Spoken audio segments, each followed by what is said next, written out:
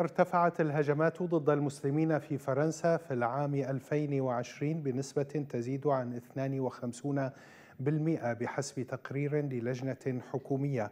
وأصدرت اللجنة الوطنية الاستشارية لحقوق الإنسان الحكومية تقريرا قالت فيه أن نتائج استطلاع للرأي بين الفرنسيين أظهرت أن 59% منهم يعتبرون الإسلام كتهديد للهوية الفرنسية. مشاهدينا للمزيد ارحب بضيفي عبر سكايب دكتور عمر المرابط الناشط في الجالية الإسلامية في فرنسا. أرحب بك دكتور عمر. ما هي العوامل والمؤثرات التي أدت إلى زيادة هذه الهجمات العنصرية ضد المسلمين في فرنسا؟ شكرا أستاذ زياد على الاستضافة. يمكن أن نقول أن هذا هذه الزياده في هذه النسبة. اولا تأتي في خضم الحجر الصحي وفي خضم أزمة الكوفيد. وبالتالي فهي لا تعبر عن حقيقة الواقع المعيش الذي يعيشه مسلم فرنسا.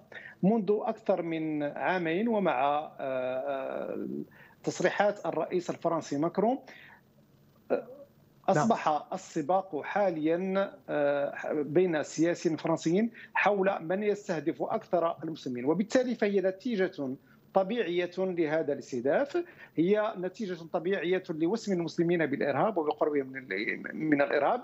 وبالتالي يمكن أن نقول بأن المسلمين في فرنسا أصبحوا الآن كما يقال باللغة الفرنسية tête de Turc يعني رأس التركي الذي يضرب والذي يستهدفه كل السياسيين هنا في فرنسا للوصول للحكم نحن كنا في مرحلة انتخابية اختتمت منذ حوالي شهر ونحن في مقبلون على الانتخابات الرئاسية والتشريعية العام المقبل. وبالتالي السياسيين السياسيون السياسيون الفرنسيون يستهدفون المسلمين لأنهم يظنون أنهم بذلك سيتقوون وسيحصلون على أصوات اليمين المتطرف ويقال بأن هذا اليمين المتطرف هو الذي سيحكم الانتخابات المقبلة.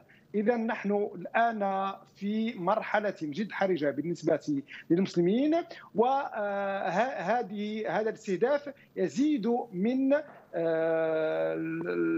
المشاكل التي يعيشها المسلمون كتبت نعم. مقالا وسميته حول فرنسا والتوجه العرقي والمنطق المتقاطع المنطق المتقاطع هو ذلك المنطق والمفهوم الذي يقول بأن بعض الفئات من الشعب علاوة على أنها مستضعفة من حيث من حيث الدين ومن حيث الجنس ومن حيث ربما الإثنية يزيد ذلك يزيد الاستهداف التي تعرفه الآن خاصة ونحن نعرف بأن الإعلام الفرنسي المتطرف كل يوم يستهدف المسلمين نظرا لأسباب سياسوية وشعبوية ونحن نعرف بأن السياسيين هنا في فرنسا يزدادون يمينية كل يوم ونراه كذلك في في في وسائل الإعلام الفرنسي. نعم. يعني 59% من الفرنسيين يعتبرون الإسلام كتهديد للهوية الفرنسية. نسبة مخيفة مرعبة حقيقة. يعني ما الذي أدى إلى تشكيل هذا الوعي الجمعي لدى أغلبية الفرنسيين؟ ليعتبروا الإسلام تهديدا لهويتهم. ما الذي رأوه من الإسلام أو من المسلمين؟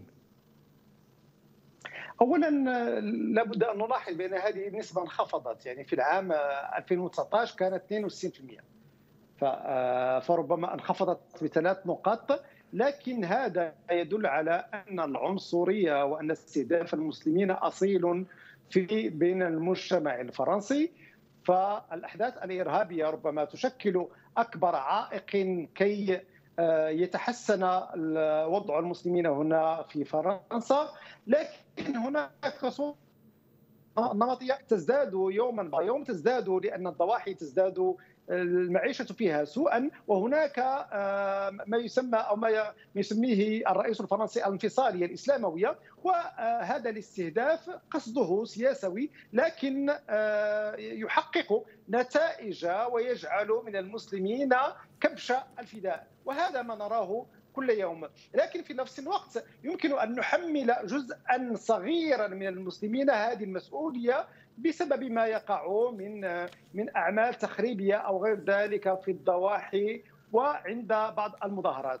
ولكن آه، يمكن أن نقول بأن فرنسا أصبحت من الدول التي كانت تتشدق ربما بديمقراطيتها من قبل لكنها الآن أصبحت أكثر يمينية. وترى في كل ما يعبر عن تدين المسلمين وكأنه وكأنه تطرف.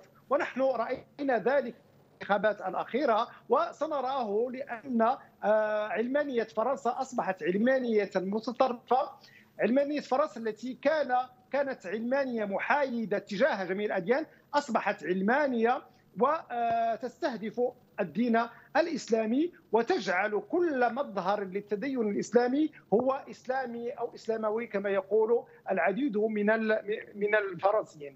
نعم. وهذا جعل المجتمع الفرنسي يعتقد بأن هذا التدين إنما هو تدين وانما هو الهدف منه هو الاستبدال الكبير الذي سيجعل فرنسا مسلمة آه، ربما بعد بعد عقود آه، وهذا الشعار يرفعه العديد من السياسيين الفرنسيين هنا في فرنسا وللاسف أن العديد من الفرنسيين نعم.